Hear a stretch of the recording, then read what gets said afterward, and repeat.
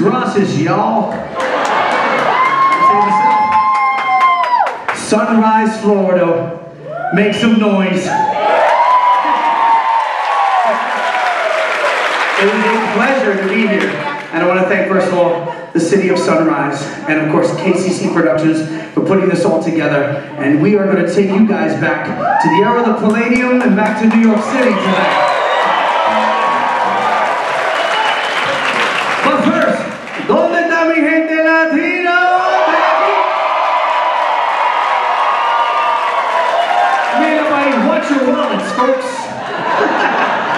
Mira ahí, bueno, saluda para gente latina esta noche.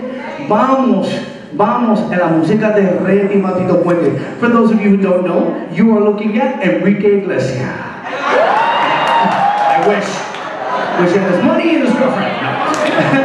I'm the son of Tito Puente. Thank you. And it is a pleasure to be here tonight in Sunrise, Florida. I happen to be a Broward County resident myself. I am. Yes. And I love Broward County. I love Sunrise. The city has been so uh, welcoming. And I love the Sawgrass Mall. Wow, it's the biggest mall, like the Southeast. It's amazing. It's amazing here. And tonight, we're going to take you guys back. Hey, who's from New York City?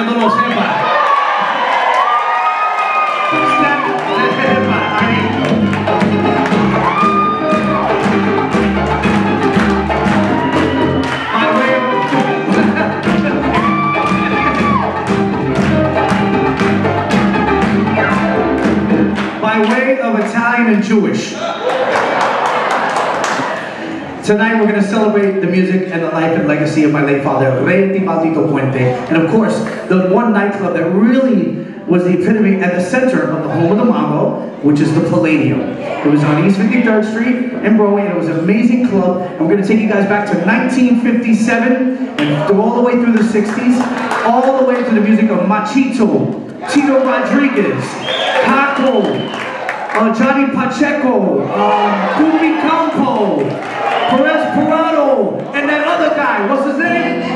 Tito Puente. Let's do a cha-cha. Yeah, let's do a cha-cha-cha for you guys from 1957 at the Palladium. Picture it. This was an amazing, too. This is called